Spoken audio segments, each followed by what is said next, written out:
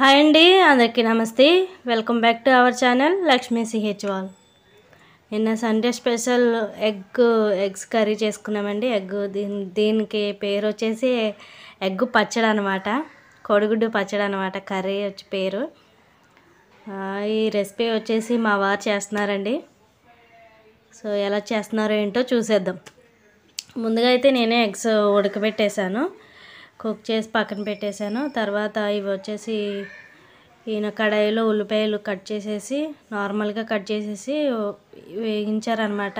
కొంచెం సగం వేయించేసి మిక్సీ పట్టారు. మిక్సీ పట్టేసి ఇలా మిక్సీ పెట్టిన పేస్ట్ మిక్సీలో పెట్టిన పేస్ట్ పక్క తీసి పెట్టుకున్నారు.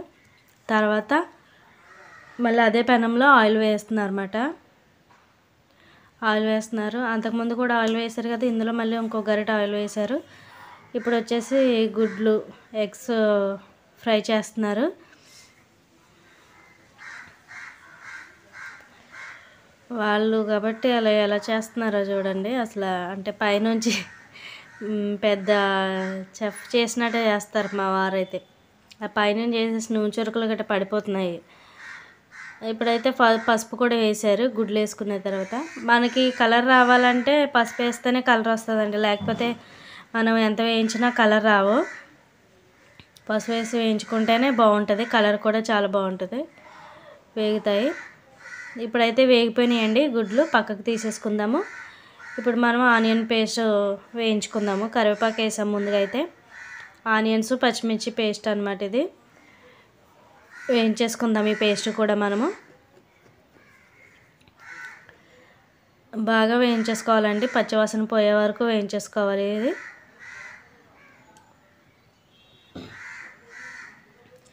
చెత్తలా పక్కన కాకులు తెగరుస్తున్నాయి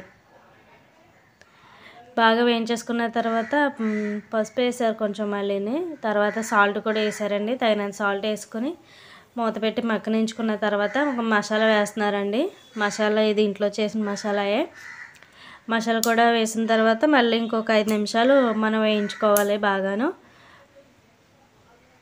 వేయించుకున్న తర్వాత కారం వేస్తున్నారండి. కారం మనకి ఎంత కావాలితే అంత స్పైసీగా కావాలంటే స్పైసీగా ఎక్కువ వేసుకోవచ్చు. తక్కువ కావాలంటే తక్కువ.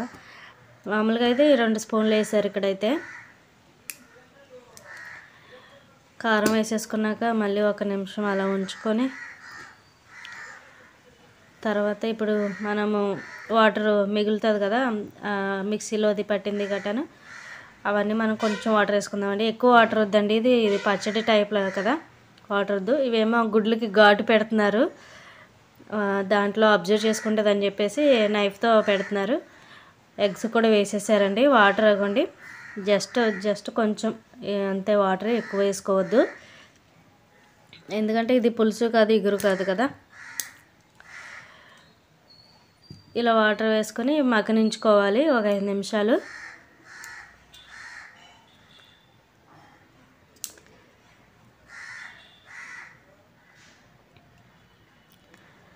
కొత్తిమీర వేస్తున్నారు.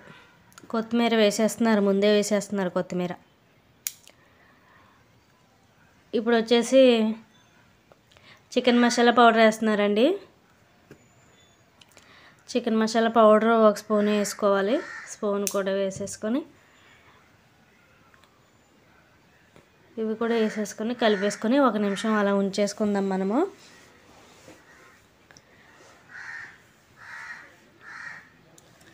అంతే ఫైనల్ ఇంకా. కర్రీ రెడీ అయిపోయినట్టేనండి ఇంకా.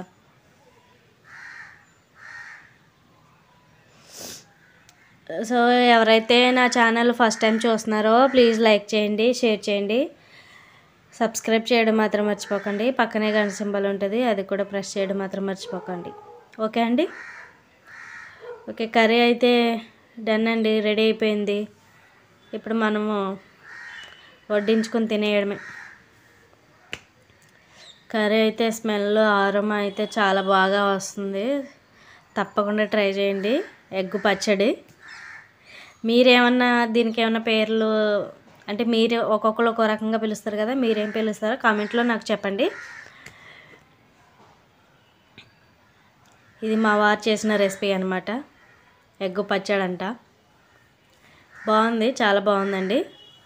సేమ్ ఇదే ఇదే టైపు ప్రాన్స్తో కూడా చేసుకోవచ్చు. చాలా బాగుంటుంది. అది కూడా ఒకసారి చేసి చూపిస్తాను మీకు. నేనైతే ప్లేట్లో సర్వ్ చేసేసుకున్నాను కర్రీ తర్వాత రైస్ కూడా పెట్టుకుంటున్నాను. వేడివేడిగా వేడివేడిగా తింటేనే మనకి టేస్ట్ తెలుస్తుంది కదా. వేడివేడిగా తింటేనే అంత మనకి ఏంటంటారు? ఆ ఫీల్ అంతా బాగుంటుంది అనమాట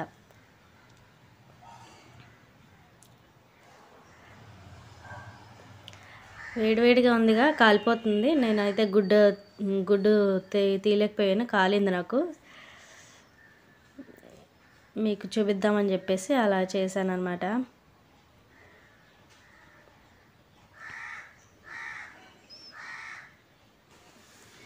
సో సండే స్పెషల్ మాకు ఇలా అయింది.